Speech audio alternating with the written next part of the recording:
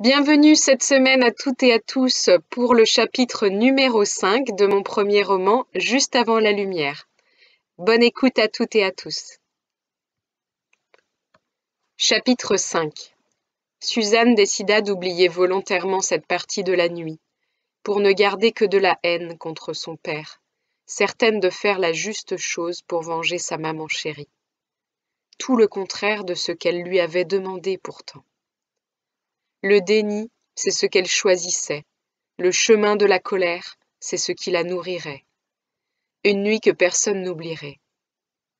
Une nuit dont tout le monde se souviendrait, à jamais, chacun à sa manière, chacun avec son interprétation.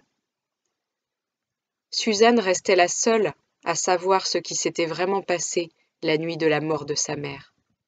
Son frère lui en voulait de ne pas savoir exactement ce qui s'était passé se sentant coupable de ne pas avoir été là, de ne pas s'être réveillé à temps, de ne pas avoir endossé son rôle d'aîné protecteur, de ne pas savoir ce que Suzanne avait fait ou non cette nuit-là.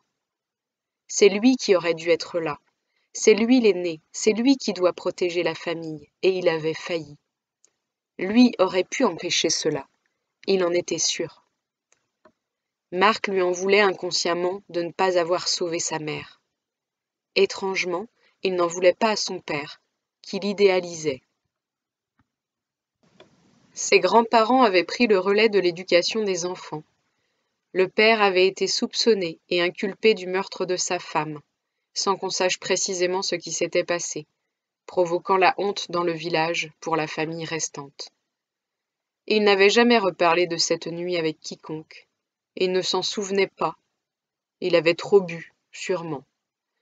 Elle se rappelait seulement s'être réveillée dans un fossé, dans le village voisin, au petit matin, une bouteille de gnôle dans la main gauche, le pantalon à moitié tombé sur les genoux. Au procès, le père était resté muet et impassible, sans aucune émotion ni réaction. Lorsque l'affaire avait été portée au tribunal, la grand-mère avait essayé de le dédouaner, en lui trouvant des excuses, prétextant que Thérèse était une femme de mauvaise vie, qu'elle avait certainement des amants.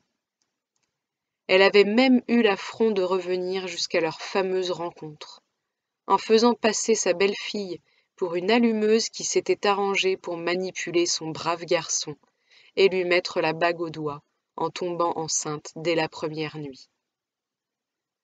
Le grand-père n'avait pas dit grand-chose, il avait seulement confirmé les dires de sa femme. Clémence, la cadette de Marc, n'avait rien dit, comme d'habitude. Marc ne savait rien. Il a juste dit que ses parents se disputaient souvent. Suzanne, elle, avait fait un scandale. Elle s'était même jetée sur son père avec une force inouïe, en lui criant devant tout le monde. Sale monstre. Tu es un monstre et tu le paieras. Tu n'es pas mon père, tu n'es qu'un monstre égoïste et violent. Ma mère était formidable, et personne ici ne lui arrive à la cheville. cria-t-elle de rage. Maman s'effondra-t-elle en larmes. Vous êtes tous des monstres. Suzanne était trop jeune. Son témoignage n'avait pas été pris en compte. Leur père avait quand même été écroué, mais seulement à une peine minimale. Aucun témoin, à part elle, n'était présent lors du décès et ne pouvait donc confirmer sa version des faits. L'autopsie n'avait pas donné plus d'indices, outre l'étranglement avéré. Comment pouvait-on le laisser impuni face à un crime si abject? Pourquoi le bourreau de sa mère n'était-il pas jugé correctement? La grand-mère s'était ensuite montrée très dure dans leur éducation. Son frère Marc et sa sœur Clémence s'y étaient confortés comme dans quelque chose de rassurant, un cadre rigide mais sécurisant. Une violence du non-dit qui valait toujours mieux qu'une violence physique, selon eux. Suzanne ne s'y était pas résignée, hurlant et pleurant pendant des mois, jusqu'à en perdre du poids. Hospitalisée plusieurs fois, elle se laissait mourir, aucun médecin n'arrivant à lui redonner goût à la vie. Son grand-père avait tenté de lui proposer des activités, de lui changer les idées. Des balades au grand air, de la pêche, nourrir les animaux de la ferme comme quand elle était petite. Rien n'y faisait. Suzanne refusait tout ce qui venait de la famille de son père. Rien ne lui redonnait le goût de vivre, plus aucun sourire n'apparaissait sur son visage. Elle ne courait plus dans la nature en riant. La vie l'avait quittée, comme elle avait quitté sa mère quelques mois auparavant, soudainement, brutalement et injustement. Sans solution, les grands-parents s'étaient tournés vers la dernière solution que leur avait proposée le médecin, l'éloignement. Suzanne est partie sans se retourner, un matin, à l'aube de l'adolescence, sans rien demander, sans rien comprendre, en laissant son frère et sa sœur derrière elle. Une fois de plus, mise à l'écart des autres. Comment pouvait-elle encore connaître l'amour, le sentiment d'être protégée et aimée de toutes ses forces, alors que sa mère n'était plus là et que le reste de sa famille la reniait? Elle a occulté ce que sa mère lui avait dit en quittant la vie qu'elle serait toujours là et qu'elle l'aimerait toujours. Suzanne s'est plongée dans ses études pour oublier ce funeste événement, pour penser à autre chose. Cela n'a pas fonctionné, mais cela lui a permis de réussir son examen de fin d'études secondaires. Personne ne l'a félicitée. Elle ne rentrait quasiment plus au village. Elle avait très peu de contact avec son frère et sa sœur, qui, eux, avaient continué leur vie, comme si de rien n'était avec leurs parents de substitution. Son frère Marc avait fait un apprentissage en maçonnerie et pensait à reprendre l'entreprise familiale délaissée par son père après le drame. Sa sœur Clémence, qui voulait rester près de son grand frère, avait choisi de le seconder en s'occupant du secrétariat, de l'accueil et de la comptabilité de l'entreprise. Après une courte formation et grâce à sa maîtrise de l'informatique, elle avait repris les dossiers clients et fournisseurs et gérait maintenant la boîte en famille. Le duo avec son frère fonctionnait merveilleusement bien. Chacun avait trouvé un compagnon de vie. Tous les quatre passaient désormais tous leurs week-ends et leurs vacances ensemble, comme des inséparables. Ils avaient même eu des enfants. La vie suivait son cours et la lignée perdurait. Les grands-parents, quant à eux, avaient vieilli et continuaient leur retraite au village, satisfaits d'avoir sauvé les deux enfants, qui avaient pris le bon chemin. Suzanne avait toujours posé problème de leur point de vue, et elle était devenue ingérable après le décès de sa mère.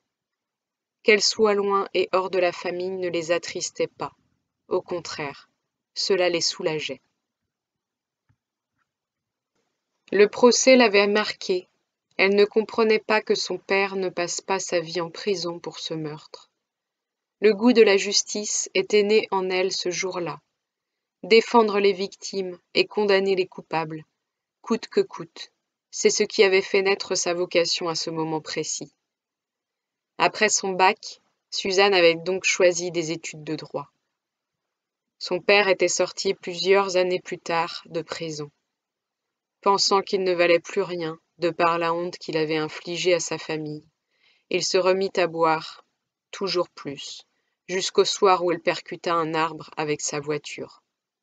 Volontairement ou involontairement. Personne ne le saurait jamais. S'en voulait-il de la souffrance qu'il avait infligée à Thérèse? Culpabilisait-il de la violence qu'il avait infligée à sa femme pendant toutes ces années? En était-il seulement conscient? Ou était-ce simplement le regard de ses parents qu'il ne pouvait plus supporter? Suzanne était revenue au village après son enterrement. Elle était revenue pour une raison précise, cracher sur la tombe du meurtrier de sa mère, pour lui montrer qu'elle n'oubliait rien. La vie avait pris sa revanche sur lui, c'était un juste retour des choses, et cela ne lui provoquait aucune émotion. Suzanne avait arrêté de pleurer il y a bien des années. Aujourd'hui, elle n'est pas avocate comme elle le voulait, car ses études de droit avaient dû être écourtées, faute de moyens financiers suffisants. Elle avait dû travailler plus tôt, ne parvenant plus à payer sa chambre de bonne et ses études. Son prêt étudiant n'avait pas suffi. Ne lâchant pas son projet de travailler dans la justice, Elle avait trouvé un stage dans un cabinet d'avocat et avait su montrer sa passion pour le métier. L'avocat avait été impressionné par son investissement et sa qualité de retranscription. Il l'avait donc engagée comme assistante. Suzanne a bien changé. Sa nature excentrique, artiste et rêveuse, a laissé place à une personnalité discrète et austère. Côté vie sentimentale, rien de notable. La jeune femme avait eu des amourettes pendant ses études, mais rien qui ait duré. Elle ne fait pas confiance aux hommes. Cela ne peut pas marcher. Une fois engagée au cabinet, elle avait eu une relation avec un homme d'affaires qui était client et avec qui elle avait sympathisé suite à plusieurs entretiens où elle avait transcrit ses propos sur papier. Il avait été victime d'une arnaque par sa femme, qui avait essayé de le malmener pour récupérer son argent. ils étaient allés boire un verre, s'étaient bien entendus, et avaient commencé une relation en pointillé, qui avait duré un certain temps. Mais cela s'est arrêté plusieurs années après, sans savoir vraiment pourquoi. J'espère que l'écoute de ce nouveau chapitre numéro 5 vous a plu. Je vous rappelle, comme toujours, que mon roman est disponible en version numérique et en version papier désormais sur Librinova, la FNAC, Amazon et toutes vos librairies physiques en France. Merci et à la semaine prochaine.